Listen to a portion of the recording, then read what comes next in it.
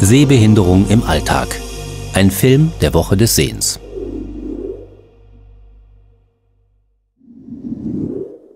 Die dritthäufigste Sehbehinderung in Deutschland ist der grüne Star, in der Fachsprache das Glaukom. Der folgende Film zeigt eine Besonderheit der Erkrankung. Denn im Frühstadium merken die Betroffenen oft nichts von dem sich entwickelnden Glaukom.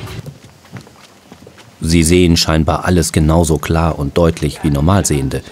Dementsprechend sicher fühlen sie sich im Straßenverkehr. Bist du blind? Tatsächlich hätte er den Radfahrer sehen müssen und hätte damit die gefährliche Situation vermieden. Das Problem, im Anfangsstadium des Glaukoms gleicht das Gehirn die sinkende Sehkraft aus. Es komplettiert den fehlenden Bildrand mit dem, was am wahrscheinlichsten ist. Dabei geht der unerwartet auf dem Bürgersteig fahrende Radfahrer verloren. Bist du blind? Erst wenn sich solche Szenen häufig wiederholen, realisieren die Betroffenen, dass mit ihren Augen etwas nicht stimmt.